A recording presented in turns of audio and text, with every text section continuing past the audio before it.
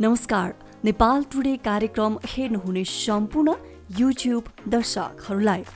कृषि कर्म गरेर आफ्नो भविष्य खोज्दै हुनुहुन्छ र आम्दानीको बलियो स्रोत खोज्दै हुनुहुन्छ भने हाम्रो अनुरोध छ। सबैभन्दा पहिले सब्सक्राइब लेखिएको यो अक्षरमा क्लिक गर्नुहोस् र निरन्तर नयाँ नयाँ आम्दानीको स्रोत थाहा पाउन यो सँगैको घन्टीमा पनि क्लिक गर्नुहोस्। अहिले हामीले जुन पनि यो तरकारी खेती यताउता गरेका छौँ अरूले इँटा भट्टा चलाएर बिस्कुट कारखाना चलाएर चाउचाउ फ्याक्ट्री चलाएर यो पनि हाम्रो एउटा तरकारीको उद्योग हो कि? हामीले चाहिँ यति बुझ्नुपर्छ कि हामी किसान पनि एउटा उद्योगी हो र हाम्रो खेत किसान भनेको एउटा उद्योग हो भन्ने कुरा सोचेर हामीले यो काम गरेर चाहिँ नहुने चाहिँ रहेनछ कि? सबै काम सम्भव रहेछ।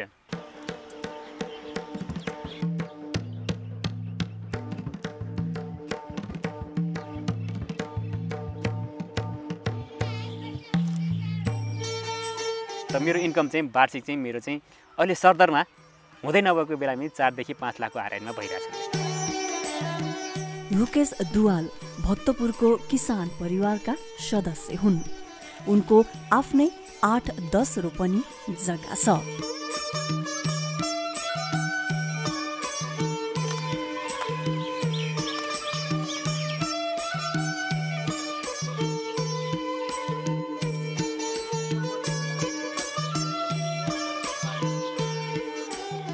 म एउटा पेसाले म एउटा किसान हुँ। किसान पेसा पनि नराम्रो चिज त होइन। अरू अलिकति सरकारी तवरले र स्थानीय मान्छेले अलिकति हेपा प्रविधि भएर पनि चाहिँ यो क्षेत्रलाई राम्रो गर्न सकिन्छ भन्ने क्षेत्र उद्देश्यले र आय आर्जन गर्न सकिन्छ भन्ने उद्देश्यले म यो क्षेत्रतिर लागेको लगभग म बाह्र तेह्र वर्ष जति भइसकेँ एसएलसी पास गरेपछि उनलाई तरकारी खेती गर्ने रहर चल्यो। घर परिवारका सबै बैरी बने।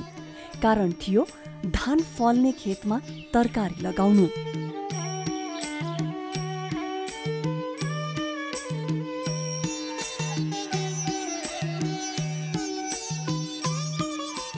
जब मैले एसएलसी सिद्ध्याएँ त्यहाँबाट चाहिँ मैले चाहिँ यो खेती किसानी पनि गर्न सकिन्छ है।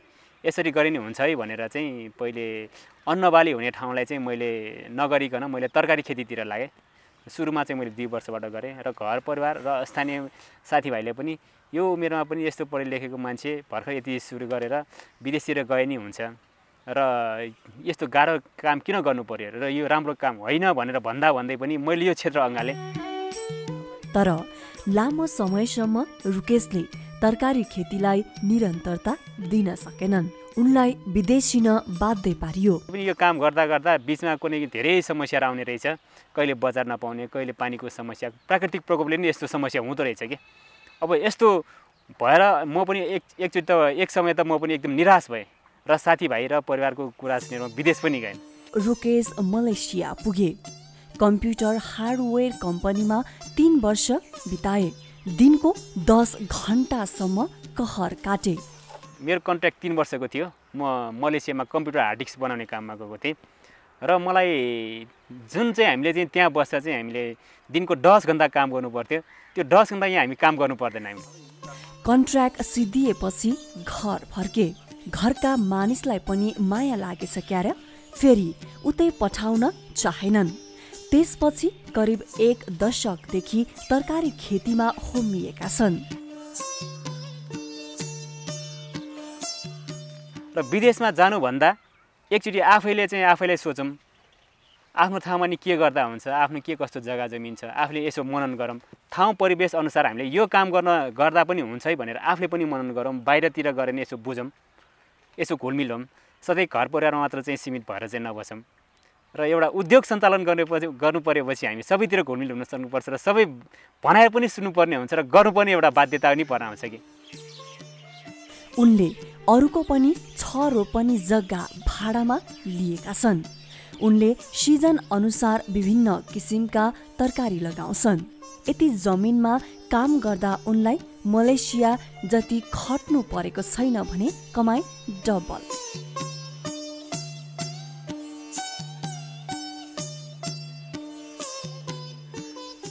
विदेशमा बसे परिवारसँग छुटेर बस्नुपर्छ। अनि प परिवारमा छुटेर बस्नुभन्दा त अनि यी आफ्नै ठाउँमा बरु त्यही तरकारी खेती ठिक छ आफ्नै खेती किसान ठिक छ भन्ने हिसाबले म फर्केर आएर काम पनि गरेँ। मैले जति विदेशमा मैले कमाएँ त्यसको चाहिँ दुई गुणा मैले यहाँ कमाइरहेको छु।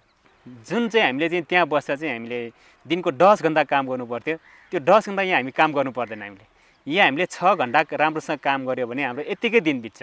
र हामीले दिनको दस घन्टा काम गर्ने हो भने चाहिँ काम गर्ने ठाउँ नै छैन हाम्रो ठाउँमा। परिवारसँग बस्न पाउनु अर्को खुसीको कुरा छ।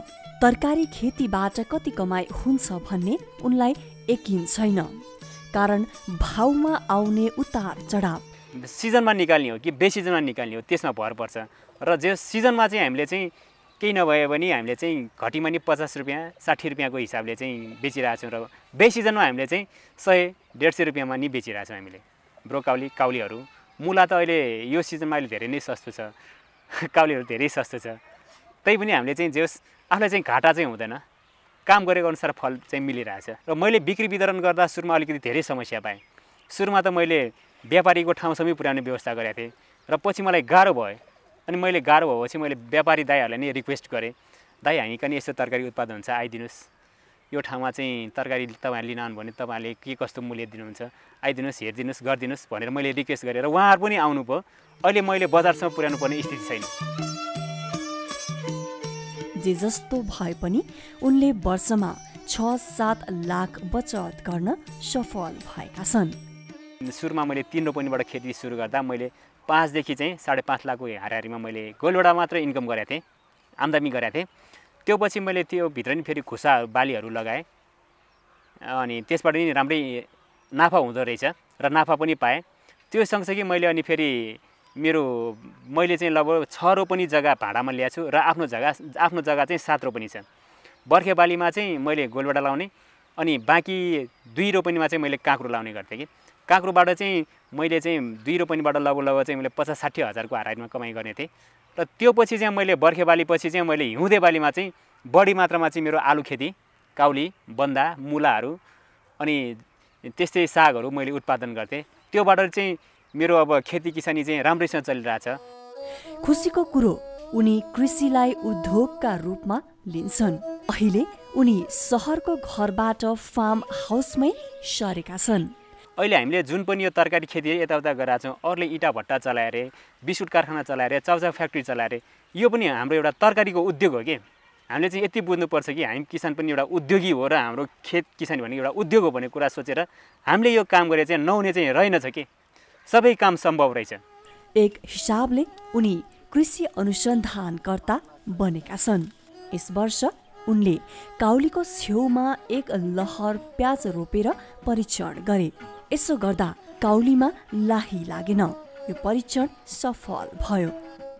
यस्तै उनी सागका विभिन्न भेराइटीका बिउ पनि निकाल्छन्। व्यापारीले उनको फार्मबाट यस वर्ष तिन केजी बिउ खरिद गरे। उनले नौ सयमा बेचेको बिउ भाउ बढ्दै तिन हजारसम्म बिक्री भएको छ। र काम गरे चाहिँ नहुने चाहिँ के पनि रहन्छ कि? हामी चाहिँ अलिकति धैर्य हुन सक्नुपर्छ र व्यवस्था चाहिँ एकैचोटि भन्नासाथ हामीले चाहिँ सबै व्यवस्था मिलाउन सकिनँ त्यसलाई बिस्तारै चाँचो बाँचो मिलाउँदै आफैले पनि गर्नुपर्छ आफ्नो व्यवसाय हो।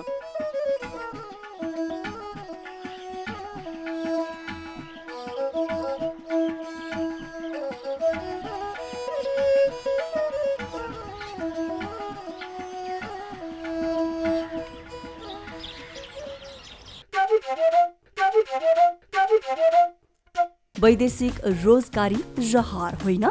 बाध्यता हो।